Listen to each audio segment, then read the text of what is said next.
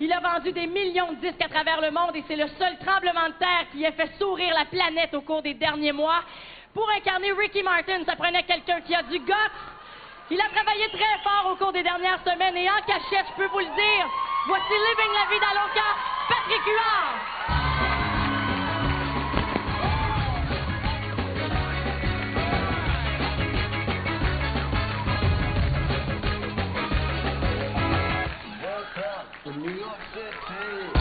In a funky cheap hotel. She my heart and she my money.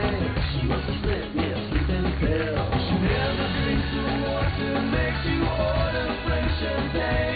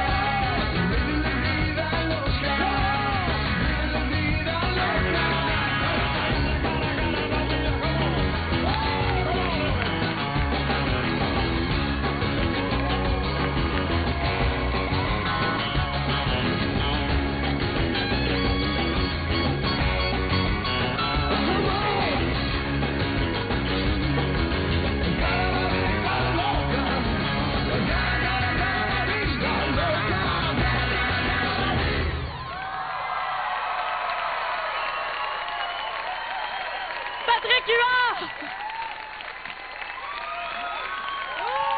Bravo! Patrick, je veux juste dire une petite chose aux gens. Et je suis là pour le prouver, tu ne danses jamais. Effectivement. Si vous me voyez danser dans un bar, prenez mes clés de char.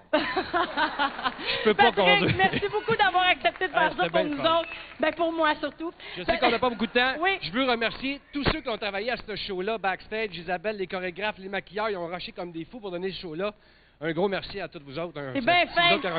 Oui, on les remercie. Ils ont fait de l'excellent travail. Et Patrick, Réseau 2, dès le 11 octobre.